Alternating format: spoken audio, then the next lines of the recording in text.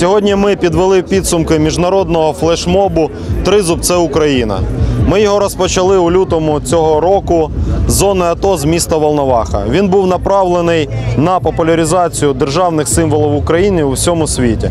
Все розпочалось з того, як нашого громадянина е, Зозулю, відомого футбольного гравця, зустріли в е, аеропорту з простою українською символікою і звинуватили його в підтримці е, фашистських угруповань.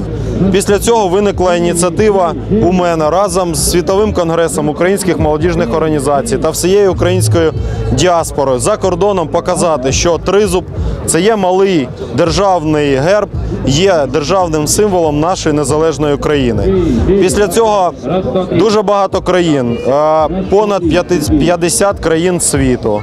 Підтримали цю акцію, виходили під е, е, амбасади Російської Федерації з тризубами. Якщо в місто Дніпро з'їхались представники 30 країн світу, то було б дуже чудово, щоб вони, залишаючись е, вірними своїй батьківщині Україні, так само на теперішній час, будучи громадянами своїх європейських країн, привітали своїми європейськими мовами всіх нас з Днем Незалежності. Потрібно знати і інші країни, і, і, і що це взагалі державний герб України, що треба поважати, що е, взагалі герб це, е, як би сказати, е, е, і, і, і прапор це два найважливіші е, такі символи. Ну і треба ставитись е, до цього з великою повагою. Основна мета цього флешмобу була показати, що Україна єдина, і що ми всі, неважливо де в якої країні, ми завжди почуваємо себе українцями, і ми дуже пишаємось цим.